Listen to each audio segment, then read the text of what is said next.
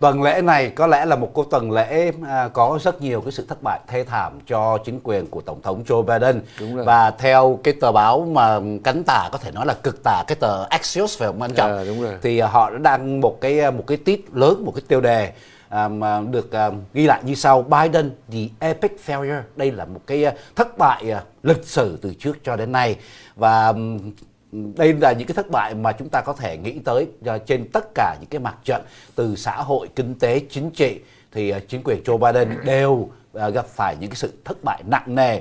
Do đó đây là cái lý do mà tại sao với cái sự mà um, khảo cứu thì um, cái cái vấn đề mà chấp nhận cái cái cái sự điều hành làm việc của chính phủ Joe Biden nó xuống còn có 33% thưa quý vị. À, thấp kỷ lục từ anh từ trước xưa đến nay đúng rồi và cái nhìn trước mắt quý vị thấy ngay là cái tin đó là cái tối cao pháp viện nó đang ngăn chặn cái lệnh ông ta định đưa ra là bắt buộc trích ngừa quý vị nhớ không? Thì cái đó là một cái thất bại và rõ ràng Quá nhất nhiều. và gần đây nhất. Tức là ông tố tình ông đưa cái đó ra nhưng mà bên kia trên tối cao pháp viện đã quyết định là không được bắt dân chúng. Cái đó là tùy theo người dân thôi chứ còn mình bắt người ta tức là mình đã vi hiến rồi. Đó là cái vấn đề là cái điều đầu tiên chúng tôi thấy còn vấn đề đúng cái tỷ lệ ông ta thì lúc này rất xuống rất thấp. Và người ta nhìn lại qua những vấn đề quý vị, khủng hoảng biên giới, rồi vấn đề lạm phát, rồi đủ thứ hết. Quý vị thấy giá xăng tăng lên cao. Vấn đề nó cream thu nhiều vấn đề lắm. Và bây giờ chúng ta thấy là cái trước mắt phải đối đầu là trong cái việc là nga nó có thực sự tấn công hay không? Ukraine đó. Gần đây thì người ta lại thấy có cái vẻ, có vẻ bằng cớ là nó tạo ra một cuộc chiến tranh giả vị thấy không? Tức là để làm gì đó mình không hiểu. Có thể là chính nó đánh chính quân ta đánh quân mình nhưng mà nó sẽ đổ cho là bên Ukraine gây sự.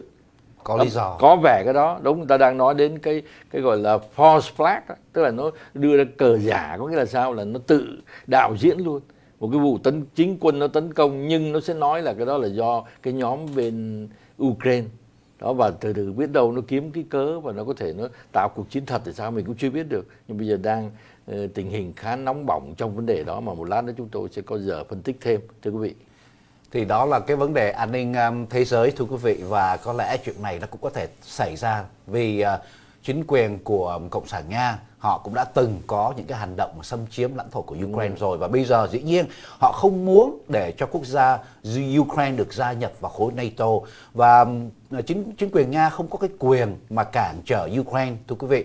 Tại vì cái khối NATO là một cái khối mà đồng ý họ Ờ, đồng ý với nhau để mà cho các quốc gia khác gia nhập chứ không phải Nga có quyền quyết định cái điều này. Tuy nhiên vì vấn đề an ninh ờ, đối với chính quyền của Nga họ không muốn ờ, quân đội của NATO đưa những cái quân đội của họ đến dọc theo biên giới của Nga để mà đóng quân ở đó và đưa uh, võ khí tới đó. Nó gây cái sự nguy hiểm cho nền an ninh quốc gia của Nga. Và đó là những cái vấn đề trên thế giới. Tuy nhiên người dân Hoa Kỳ thì bây giờ ai cũng lo lo sợ uh, băn khoăn về cái vấn đề lạm phát đồng tiền đi liền khúc ruột thưa quý vị. Tuy nhiên ngày hôm nay thì cái chỉ số chứng khoán nó đã đi xuống giảm tới 20% cho cái um, cái cái, ờ, cái những cái cổ phần chung cho cả thị trường chứng khoán. Thì um, cái tình trạng này nó đã bước vào cái ngưỡng mà những người mà chuyên làm về tài chính chứng khoán họ nói rằng là đây là cái tình trạng bear market.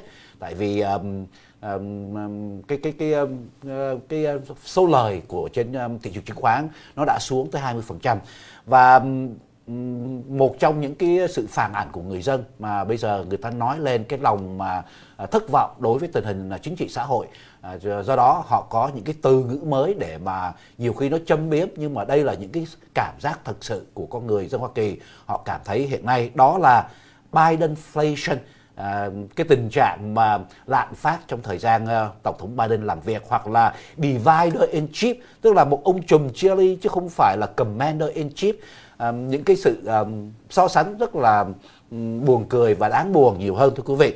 Và đây là những cái điều mà tại sao mà người dân người ta cảm thấy như vậy. Tại vì mới cách đây thứ ba vừa rồi khi ông Joe Biden đến từ bang Georgia để mà vận động người dân ủng hộ cho cái luật bầu cử mới của ông thì ông đã so sánh với những người nào mà chống đối lại cái chính sách của ông là những người kỳ thị chủng tộc.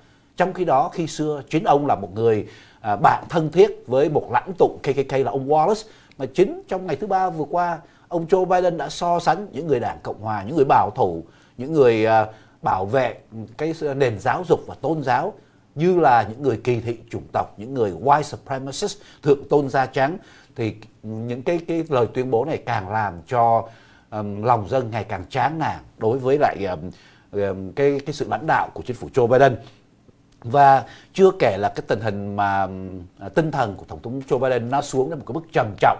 Tại vì cũng trong tuần này trong một à, buổi diễn văn thì ông Joe Biden lại nói rằng là tôi và President Harris ông vẫn gọi bà phó tổng thống là tổng thống à, và um, ông đã cà lâm đến một cái mức mà um, phu nhân tổng thống phải đến để cầm cái microphone để nói giúp lời tiếp lời cho ông.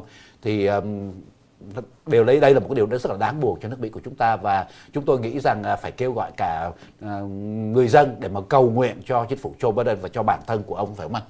Vâng đúng. Là bây giờ chúng ta đang trải qua cái lạm phát mà chúng ta nhớ trong chính chứng khoán thì nó có bear hoặc là bull market, chúng ta biết rồi. Bear tức là cái giá xuống. Là bây giờ này chúng ta đang bị cái này còn bull là cái giá lên cao. Đại khái đó là những cái từ chuyên môn. Chúng ta giải thích một chút để quý vị hiểu thì tình hình nó là như vậy đó. Và với cái tình hình mà không kiểm soát được nền kinh tế chắc chắn là chúng ta sẽ lạm phát dữ dội, đồng tiền càng ngày càng mất giá. Và đó là cái lý do đặc biệt chúng ta sống những cái tiểu bang mà cái cost living cao quá như là Cali đây thì đường dài cũng rất là phiền. Đó là lý do tại sao một số người đã đi đi bớt đi và Cali đã mất một cái phiếu cử tri đoàn chính vì cái đám mà lũ lượt kéo đi đó trong thời gian vừa rồi đó. Dĩ nhiên những chúng ta là những người còn ở lại đây nhưng mà nhiều người trong thời gian vừa rồi đã mua mua sang hoặc là Ờ, Florida hoặc là uh, Texas là những tiểu bang mà tương đối họ còn cảm thấy là bên phe Cộng hòa và họ có một số cái quyền tự do còn bên này vì càng ngày họ càng siết chặt. Và với tay Newsom này thì chúng ta sẽ còn nhiều nhiều lắm. Giờ chưa biết như thế nào?